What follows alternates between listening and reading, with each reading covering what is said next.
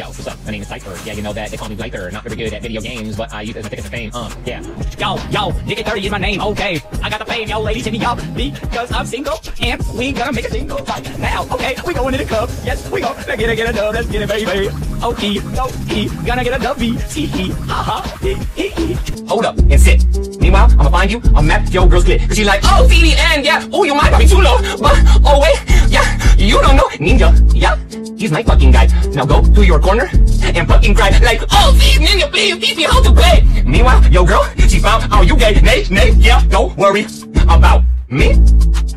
I won't stop all this shit to the motherfucking Twitch community. Meanwhile, I'm with your girl, giving her the D. Yeah. Relax and sit back while I do my eating at. Hey, woo! You were playing Fortnite. Not too long ago, all you were thinking about was Fortnite. And all you could do when you went to school was talk to your friends about Fortnite.